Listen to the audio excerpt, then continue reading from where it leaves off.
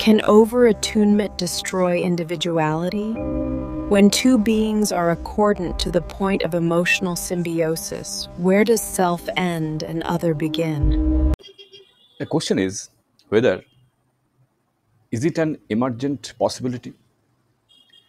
Is it an uh, possible scenario that a human and their love robots they are entangled in an agrarian context and is, it is not just a speculative fantasy anymore. It could be an emergent possibility in my opinion. Why I am saying so? Let me explain a little bit.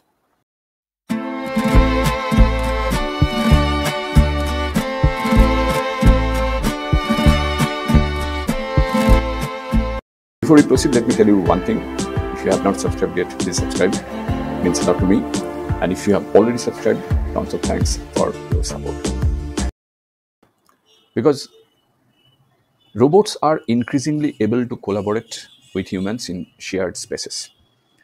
So, whenever we think of nature,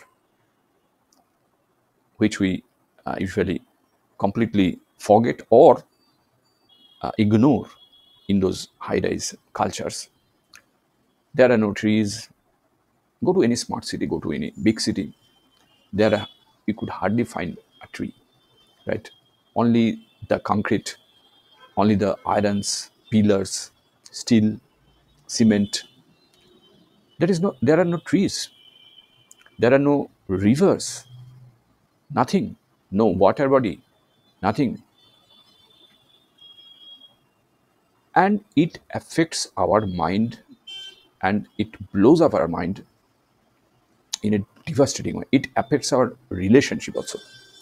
And look at the relationship the city dwellers going through separations, either mutual or some violent uh, uh, divorce for uh, I just can't explain how devastating the experience is. I simply can't explain.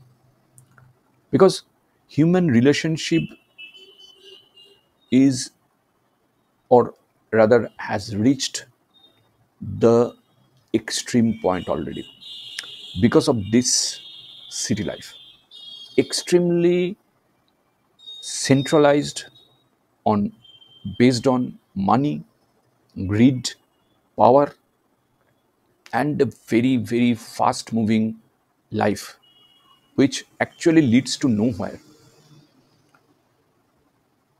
and think about coming back to nature.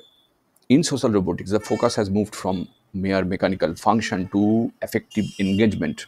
That means emotional intelligence, which is extremely important because loneliness is the key word in our city life.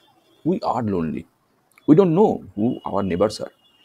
But in any kind of uh, go to any village community, there is a human community. You know each people.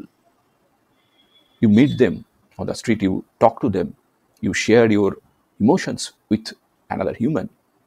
But in city life, no one knows nothing. Nobody knows anybody.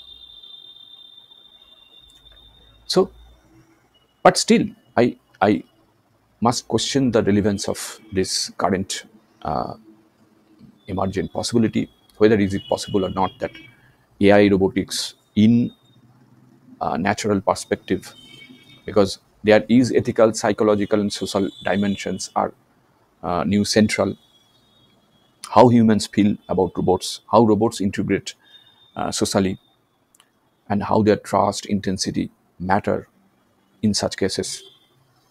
There are a lot of things we need to think about, but still, it is, in my view, is an emergent possibility that we come back to nature with our robot partners and we manage things. I mean, we can merge technology with nature and uh, take the fruits out of it. Now, if you really like this type of uh, content, please subscribe. It means a lot to me. And uh, don't forget to hit the bell icon to get notified if i because i post one video at least one video two videos every day on different types of different types of topics on ai and robotics. So meet you in the next video. Till then goodbye. Stay safe and take care